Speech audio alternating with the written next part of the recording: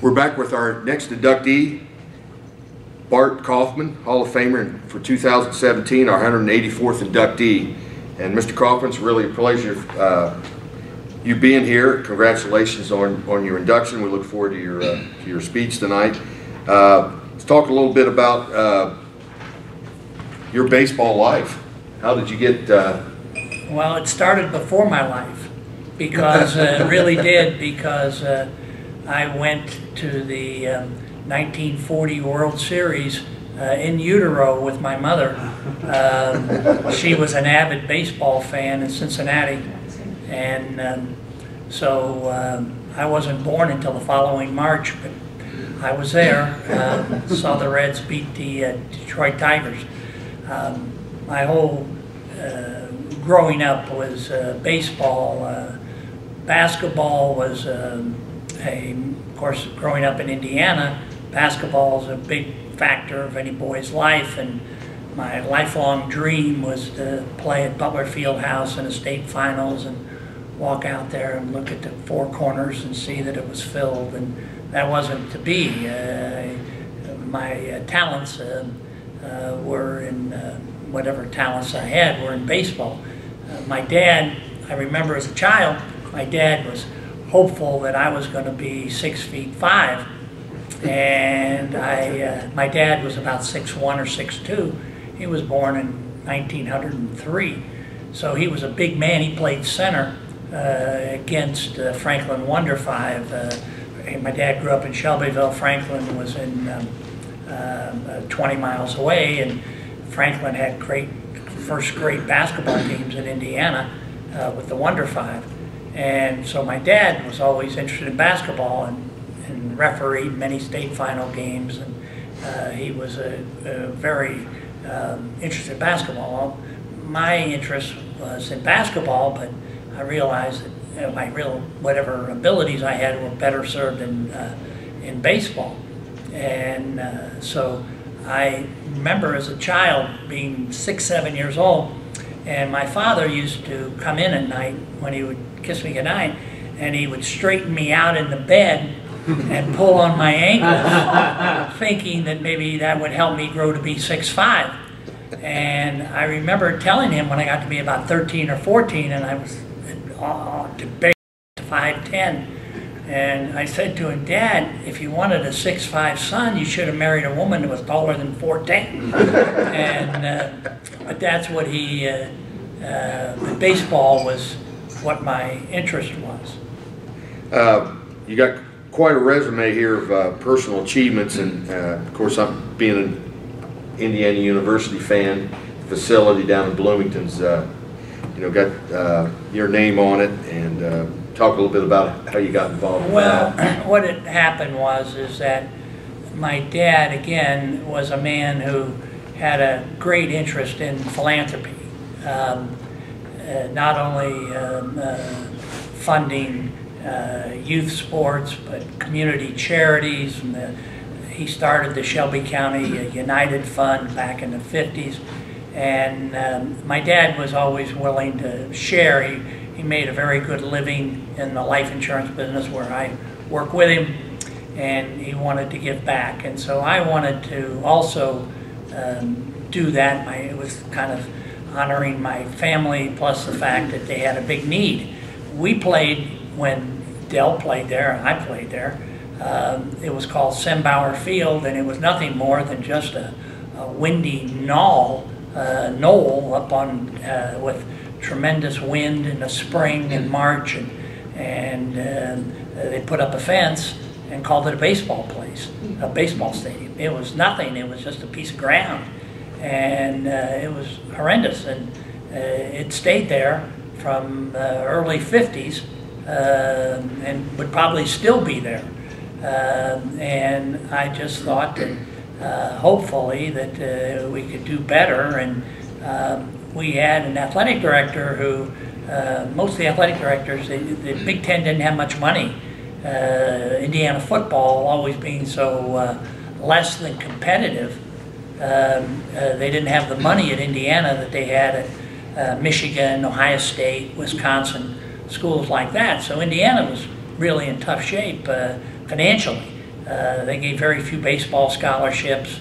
Um, when I played, uh, they gave like two, uh, and they were based on need. And your dad had to have income to so much or whatever. And fortunately, my dad was uh, able to pay my way, and and uh, the team that we had was comprised of guys like that whose fathers were being able to pay, and some others uh, who weren't. And uh, but there was very little financial support because baseball didn't they didn't have the money to, to, to do it. Uh, Purdue was in the same position. And Purdue, uh, uh, what saved both Indiana and Purdue was the ability to use uh, multi-sport athletes, which today they won't let them do it. The coaches, because the sta- the uh, seasons last so long, they don't let it happen. So a, a youngster who might be a fine baseball player, his uh, career is over before it ever starts because the basketball coach wants him to play AAU all summer. Uh, and the football coach wants to start to practice the 1st of July. Uh, and they want to continue till December. So, um, uh, baseball players, and, and when I was there, uh, in order to make it better, uh, the uh, basketball team, Branch McCracken, let the kids, his kids who wanted to play baseball, play. And uh, uh, on my team was Bob Reinhart, who was a, uh, a, Hall of Famer in every respect, including the Indiana Basketball Hall of Fame starting in, in, in March. And uh, was a bas- on a basketball scholarship. Dick Sparks, who threw harder than anybody I ever played with, he was a basketball player. Um, Charlie Hall was uh, started on that great team with Walt Bellamy in 1960. Uh, Charlie was a pitcher, Ernie Wilhoit, who was a basketball player. So we picked up these extra players to play baseball, but baseball was always the redheaded stepchild of uh, Indiana University athletics. And uh, I remember once, one night, we were coming into, um, uh, we played Morehead, Kentucky, and we got off the bus and we were in a flea trap. I mean, it was a flea trap that we were going to go, and if any of our parents would have seen where we were going to sleep, they would have brought us home. I mean, it was terrible. I could never tell my parents where we were sleeping that night. And um, uh, there were uh, prostitutes in the, in the lobby, and I mean, it was. I mean, other than that, it was really a bad place to, to, to be. And um, this one player on our team, our first baseman, a guy named Russ Maddock, and he got off the bus and he was stepping down on the steps and he looked at this place and he said, There are only nine teams in the Big Ten.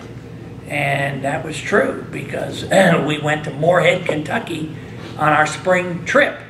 Uh, now, baseball, uh, they're coming to Arizona. Uh, in fact, I'm going to host them for dinner. Indiana opens up in, in Surprise, Arizona. and uh, they go to Florida, they do all this stuff. Well, why are they doing this? They're doing it because of the Big Ten Network. The Big Ten Network's like an ATM, and it just spits out all this money, and uh, people at Indiana and Purdue uh, are looking for ways to spend it. So Purdue built a new softball stadium, Bittinger Stadium, and they built a new uh, baseball facility, Alexander uh, Field, and uh, uh, these schools have cleaned up their facilities and made great facilities because of the big the money that's come from the Big Ten Network. So um, I saw in the 90s uh, I had donated money for a chair uh, in life insurance at the School of Business at the Kelley School of Business, and they um, uh, they had three deans in five years, and they decided they didn't want to teach uh, life insurance in the School of Business. Well, that's what I've done my whole career, and I love my business. Worked in it all day to day, uh, and it's a great business. And they didn't want to teach it. Uh, the faculty, uh, the same kind of people that are uh, down there um, uh, making decisions that many of us don't agree with, uh, those they didn't want to teach it. they were interested in different things. So my money was sitting there, not doing anything. It, and I was paying them all this money, and it was sitting there in a in a, in a fund. And um, the head of the IU Foundation said, "Well, Bart, why don't you give it to the um, we'll replace Sembower Field. So I said, that makes sense to me.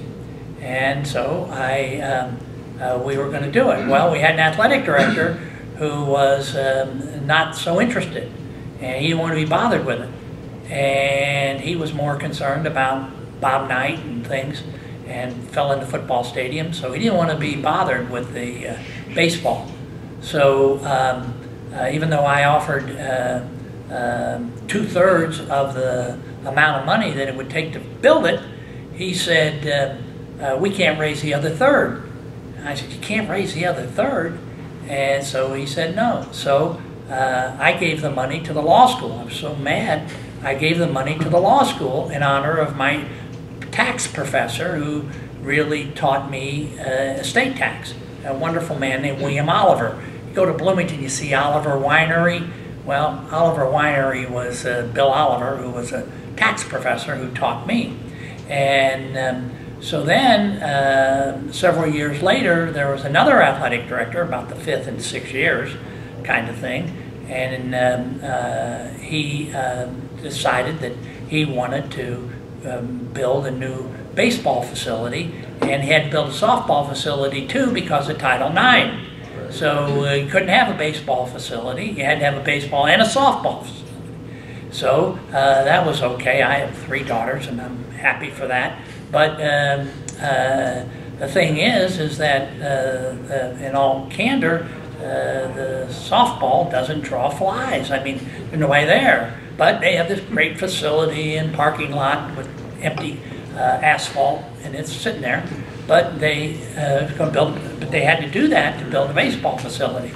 So um, uh, they came to me and said, "Would you? I know you've given the money to the law school, and, and but would you uh, give more money to us to do baseball?" And uh, I thought, well, I've already been through this now. It's 15 years, and um, but um, uh, the next athletic director uh, was a guy named Rick Greenspan. And he was interested in baseball because his son played. And so he sure didn't know how to pick football coaches or basketball coaches, but Greenspan did know um, that it was that we needed new facilities. And the problem was with Bob Knight because Knight never wanted to. Uh, Assembly Hall needed to be fixed up.